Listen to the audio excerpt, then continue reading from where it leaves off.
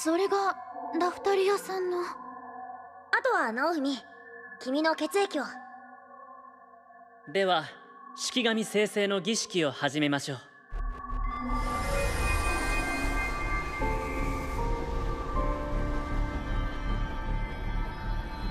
今ここに願うはかの者を守り力となる者。かの者の魔のかけらにして眷属の創造なり生まれいずるは守りの使者。これは。何ですか？いえ想像よりも具現化が早い。この媒体の持ち主は一体。式神の盾